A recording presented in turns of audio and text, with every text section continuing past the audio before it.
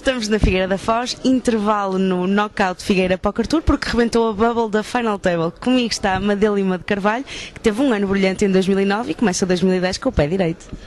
Ah, sim, tem. Isso vai ser. Andava a prometer. Em 2009, eu penso que tive ali, tanto em Praga, main event, o do Sol Verde, o EPT também de Vila Moura. Penso que sim, foi um- uma experiência boa para agora este ano. Começar bem.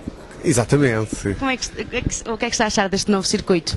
O terceiro knockout, os bounties, o field? Bom, é uma estrutura nova. É, é- é a primeira vez que se organiza cá em Portugal. Eu já tinha jogado isto na Holanda.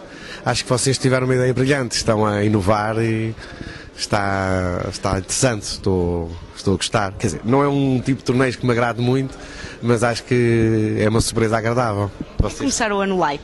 Acho que sim, acho que sim. E em relação à Final Table, que vai começar agora, como é que está? Eh, Estou bem, eh, tenho estado ali sempre no sobe e desce, eh, mas faz parte desta nesta fase não podemos também esperar muito. Mas estou a gostar do, do torneio, estou, acho que não, não, estar em nono ou décimo para mim é igual, não. Eu vou para cima deles agora e se tiver um lado ou qualquer coisa vou tentar ganhar ou vou-me embora. Não, não é muito o meu estilo estar ali à espera, de, não é muito o meu estilo de jogo. Muito bem, muito boa sorte. Obrigado. E vocês já sabem que toda a ação desta Final Table vai estar no live report do PokerPT.com.